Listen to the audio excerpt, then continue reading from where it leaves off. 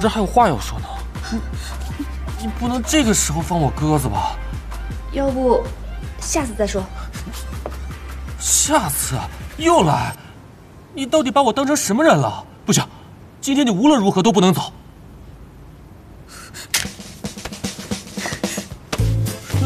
喂！喂！喂！喂！周氏，抱歉，下次一定补偿你。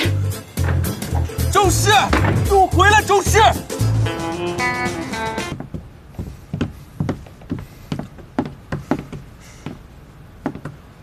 董事长，让您久等了。我拿衣服进来的时候，房间里已经没有人了。又被他给跑了，下次别让我再碰到他。我这不行，我现在听不了“下次”这个词。是是周小姐吗？她回来了，对吧？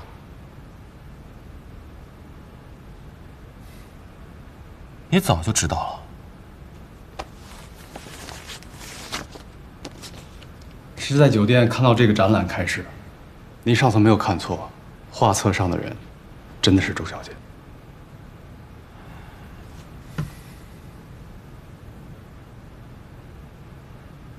那你为什么不告诉我？我是觉得，有时候相遇不在早晚，也许现在才是最好的时机。董事长，您这两年的空白，应该在这个展览能找到些许答案。喏，今天最后一场。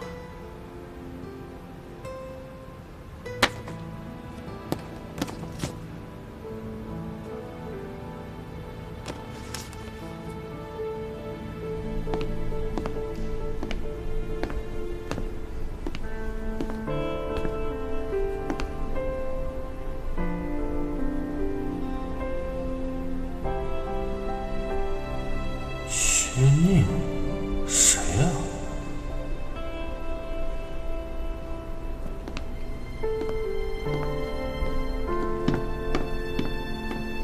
新冒头的摄影师，虽然首次在国内办展，但反响还是不错的。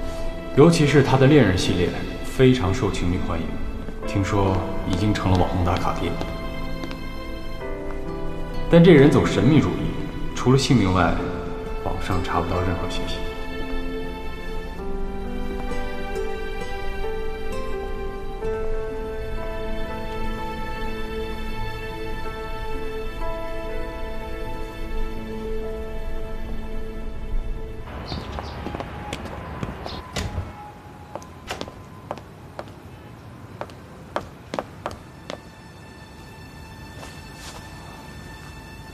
好没伤着别的地方，怎么就半天功夫把自己搞成这样？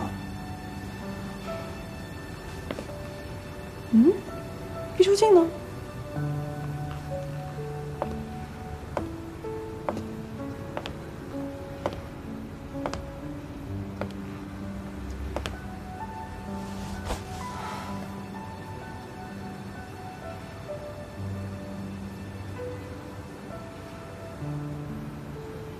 手机的主人受伤，请速来宁海医院六楼二十七号病房。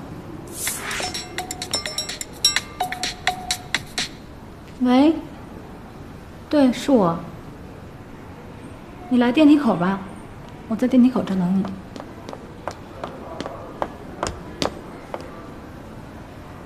周氏，真的是你？邱静，是你通知我来医院的。嗯，那这个手机的主人他受伤了，他在哪儿？你快带我去。我带你过去可以，但是在这之前，你要跟我说清一件事。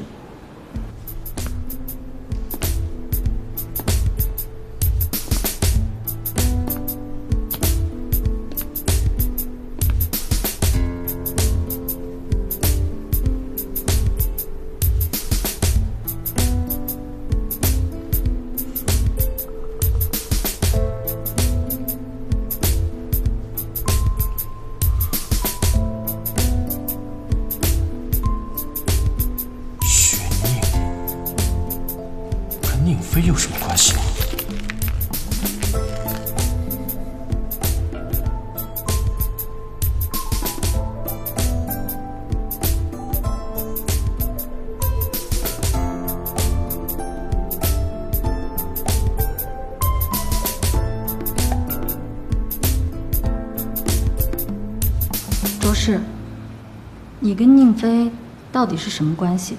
你为什么这样问？知道吗？在我刚拿到他手机的时候，想解开密码，第一个想到的是菲菲的生日。输入后发现不对，我试遍了他身边所有可能的数字，都不对。直到你的生日，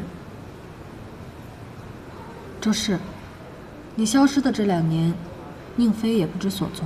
我查过你断联前最后上线的 IP 地址，是你学校附近的公立医院。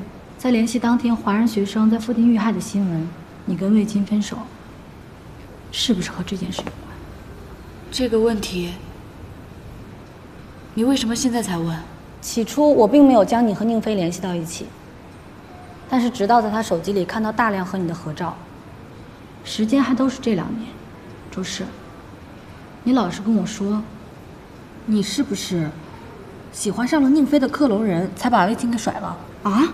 还是说你被人魂穿了，和同样穿越而来的宁飞谈起了恋爱？现在你终于恢复了本体，想起了一切，还是说你被人洗脑了？啊！停停停停停！不是，为什么你的推理都这么的超现实呢？按理说，正常人看到这些，不是都会以为我抢了闺蜜男朋友？你在胡说什么呢？你们怎么可能会是那样的人？怎么了？我说错什么了吗？不是。谢谢你，秋千姐。你不知道我刚刚有多害怕。我这个人真的很不擅长解释。放心吧，接下来无论你说什么，我都会相信你的。但是，在这之前，你总该好好跟我说说两年前究竟发生什么了吧？喂，你什么意思啊你？闭嘴！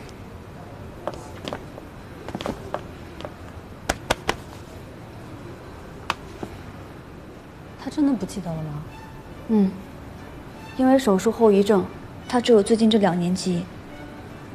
自从那场意外之后，我想尽各种办法让他想起过去，但是医生建议这两年内最好不要有人工干预，等情况好转了之后再说。那他自己呢？就没有问过你关于两年前的事情？大概是那场意外的原因吧。他对之前的自己很反感，有了现在的名字之后。他更是一心一意做现在的自己。我看到他那么努力，越来越说不出口。可是，这样对菲菲不公平。他等小飞回来，已经等得够久了。是啊，所以这次带他回国，就是希望他能自己想起来。万一，我是说，万一，万一他再也记不起菲菲，你怎么办？我早晚要把他还给菲菲，他不能过度依赖我。在我心里，他只是菲菲的男朋友，我不过是代为照看。原来如此，你们这是把我当物件啊！阿宁，你们什么情况啊？闭嘴！所以你一开始对我好，对我千依百顺，都是替你的闺蜜照顾她男朋友，对吗？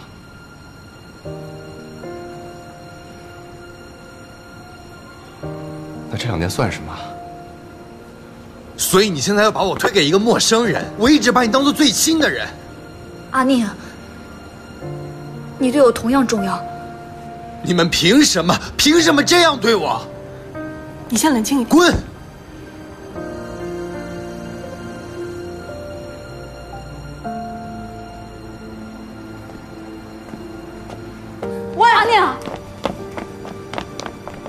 接下来就交给菲菲吧，毕竟没有人比她知道如何驯服一只野猫。